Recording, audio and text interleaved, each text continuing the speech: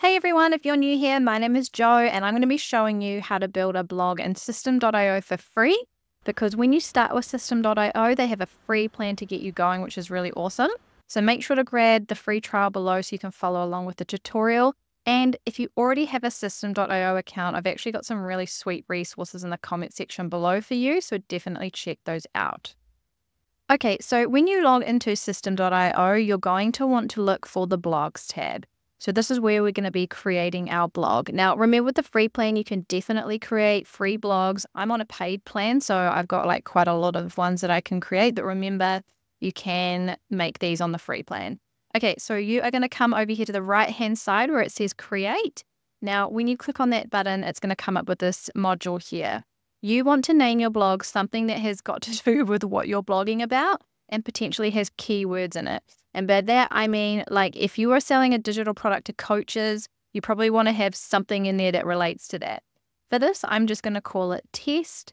Okay, so when it comes to selecting the domain name, you come over here to the right hand side. I've got a couple of different domain names already connected, but you can just use the built in one. Yours will probably have a bunch of different numbers in there. If you want to, you can also purchase your own domain name. Now, remember, a domain name is just the address of where your blog is going to live, but you can totally use the free domain. So I'm just going to use that. Now, I've got two templates that are here. These are very, very basic ones, but you once you get into them, you can actually craft them to however you like. If you want to preview them, you can just click on this button here and it's going to show you what the actual layout is going to look like. But honestly, you can create absolutely anything. So I'm just going to save this and it's going to create my blog. So you can see that that is there. So I'm going to go into it here and you will see that it automatically loads with quite a lot of content already. What I would first do is I would actually go to this button here which says blog layout. So when you go to blog layout, this is going to be editing this like the static stuff or the stuff that's not editable everywhere. So that's going to be the top section. So it's going to be your navigation and usually your footer. So this is where you want to put things like your links to different places of your blogs, your social media, perhaps you want to put, you know, the newsletter signups, anything that you want to put, maybe your privacy policies, anything like that. Now, it's really easy to edit. All you need to do is basically like click on a section and you can come here and change the color. Like let's just choose a crazy color you can see there. And if you want to change the menu, you will see that the menu isn't set up because it's not really linking anywhere. So you can see that home just says blog link. You've got a couple of different, you can go to custom URL if you want to, or you can select the pages that are, you know, defaulted set it in there or the categories or the posts. I would just stick to keeping to what is kind of here unless you want to customize that even further. Maybe you want to Instead of it saying articles, you just want it to say blog. And then you just need to make sure that you save. Now, remember, any changes or anything like that that you make, you can always go to the little i, which will preview the changes and you can see how everything works. Okay, so I'm just going to exit out of here. I don't really need to save these details because it's just you know, on that ugly purple. but you can see here, if I go to pages, these are the pages that are already default set up in here. Now, I would probably go to the homepage and start with this one first. And this is going to be, you know, your blog's homepage. So you want to probably customize this to your brand, what everything looks like. So again, you can change the sections. You can change the background colors. You know, we can change to that crazy purple again. Let's just grab the actual section. And this one actually has a background image, so I'll just delete that. So you can also add background images if you wanted to. You can change the color of the text. So we could highlight this and we could make this white if we wanted to, so you could actually see it. You can drag and drop all sorts of things around. I'm quite picky and I actually like to just build everything from scratch. So I will grab like a section and I will pop it up here and then I can drag my columns and I can place in basically anything that I want. You know, like I might want to put the image here and I might want to put some, you know, headline text over here instead. So you can see how easy it is to drag and drop. I would recommend if you're changing any of the like layouts or anything like that, that you do preview here and you also preview on mobile because that is going to show you what everything is going to look like on mobile. And you just want to make sure that everything looks kosher. So when you edit things in mobile, it will save a mobile version. And then when you edit on the desktop, it will save the layout that looks like on desktop. So that's the really cool thing about Systeme.io.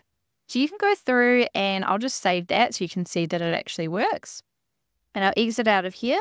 And you can just update, I reckon, these pages here and because they're kind of ones that you're going to need on your blog anyway. If you wanted to add a new one, you can just create your own one by clicking this button over here. So I'm going to go to the post list page and just see what this looks like.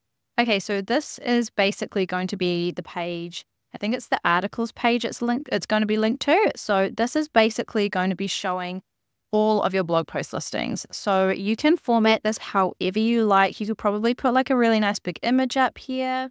You don't have to keep all of this information. It is totally up to you how you want to lay things out. And you can see here that we have got, you know, the articles. It just gives you like dummy content so you can like see what it's going to look like. And if you wanted to change the layout, you can.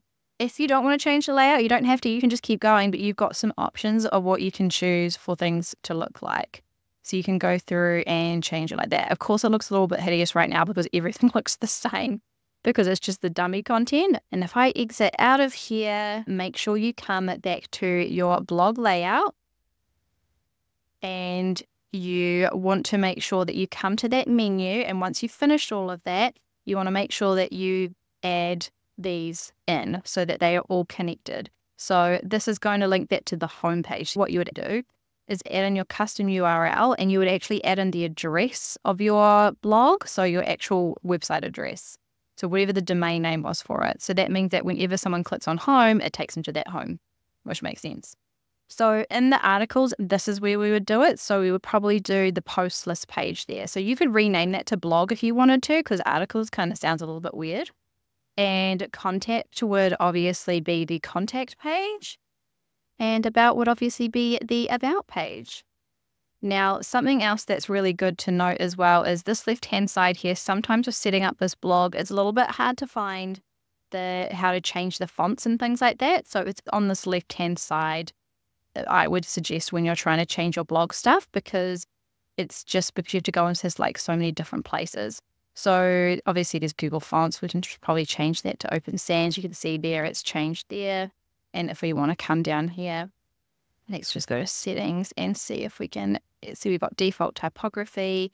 We want to change that to, you know, Montserrat maybe, and then that's changed it there. And let's just change the heading to Montserrat as well. And these ones are obviously manual, so we can just go to here and change that to Open Sans again. So sometimes it's on the left hand side here. That's where I always start with where you're changing your fonts because this does like global font changes rather than having to go through and see how I'm having to do all of these like individually, which is kind of annoying. But sometimes you have to do that. And we'll exit out of here. So you've set up your pages, you've got them all in here the home, the posters page, the about page, the contact. Now you can get onto your categories. Now, these are the categories of your blog posts. So, what I would do is actually just rename these. So, you can go into settings because they're already there and you would name whatever the categories are that relate to your blog. So if you were doing that coaches, maybe you want, want to write like quotes or advice or whatever your blog is doing. So let's just do advice. And you can see that the path changes. I would also recommend filling out these as well. So description is basically just what's the description of your category? Like what is the, the advice category about? If you want to have an SEO title, now this is what Google will show in the search results. So this is where you want to put like your keywords or anything like that. And the SEO description is the same thing. If you have no idea what to put for SEO, my go-to is literally going to ChatGPT and asking it and saying, hey, I've got this blog and I've got this category and I need an SEO title and an SEO description. What would you suggest? And then that's what I use. so that's just a handy little tip. So you can save that and you can see that that has been successfully changed there. So you can also add your own categories as well, but I just recommend changing the ones that you've got in there first because they're already in there and it's just really easy. So you can create and just fill out those same details again. So now it is time to actually see what the posts are and create your own posts. So I'm just going to go over to this right hand side here. And this is a post that is already like just just dummy text and dummy posts that are in there. And let's just have a look and see what it looks like at the moment. So you can see here that it's like a fairly standard layout and I think it depends on what you want to look like. So what I would tend to do is actually delete all of these and then make a layout that I like the most, right? So let's just say I'm going to use the top places in China as my post, as my first post.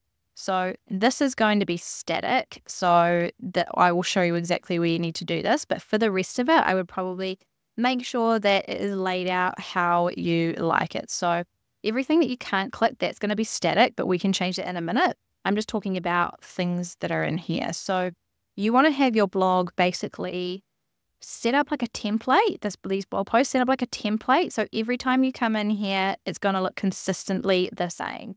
And you just edit that the exact same way as I've been showing you with the pages. So I'm just going to save these changes. And I will exit out of here. And let's see, we are going to go to post layout. So when you do the post layout, remember how I said on the left-hand side, always look for those global settings? This is probably the one instance where you don't have to do it. So this is where you actually can select it and you can change it from here. So the blog post layout is essentially your your template of like the actual stuff that's happening around it. So not the actual content, but the stuff that's happening around it. I hope that makes sense. So you can see here that, you know, there's this giant picture of this guy, which, you know, maybe you want it smaller, maybe you don't want it at all. You know, you're going to need to find a blog that you like and probably mimic it, but it works exactly the same. So you can, again, like if you don't want to start with a big image at the top, you don't have to. And, and even though it says don't remove these components, you actually can. So, for example, I don't like to put dates on my blog posts because that means that if I don't post for like, you know, two weeks or something, then people are going to notice that I haven't posted for two weeks. And then the blog posts become kind of irrelevant. So I would delete that. And you can see it doesn't really do anything. And if I wanted to change this whole layout, I can also delete this whole thing over here. And if I wanted to make the whole section. Like if I wanted to make it just a whole big one and I don't want to do it into these two, then I don't have to. I can drag this up here and you can make it like a big full width, like beautiful blog if you really want to. This image is probably going to go huge. But you could, I mean, if you want huge images, you could do that. And once you've done all your changes, make sure that you view it and see what it looks like. This obviously isn't going to look like anything because it's just the preview, but I'm going to save that and let's go into one of the blog posts with the content and see what it actually looks like.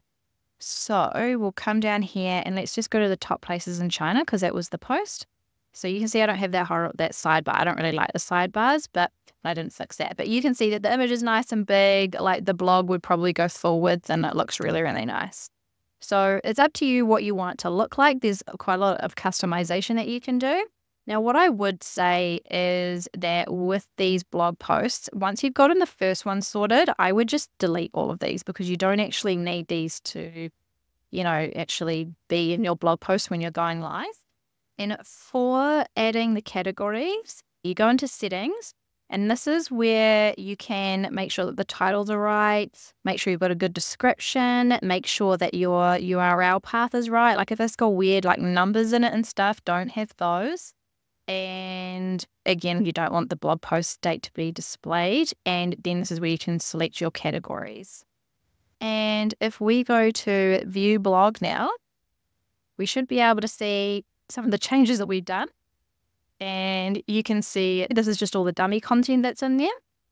And the top places in China, that's the one that we were like messing around with. And you can see that I deleted that first image, so that image is not there anymore. So it's really super simple to set up. It's like, uh, it actually blows my mind that all of this is free. And basically, once you're ready to go like like publish every well, it's basically they're already published anyway when you do all these changes because you can see here if your blog post is green, it means it's published.